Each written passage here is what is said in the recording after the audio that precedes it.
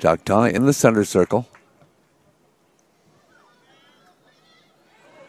Ball headed in, and it's going to score. Oh, just bounced right past everybody.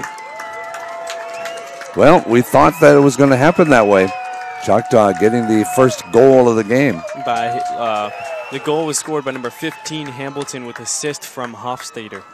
Luke Hambleton.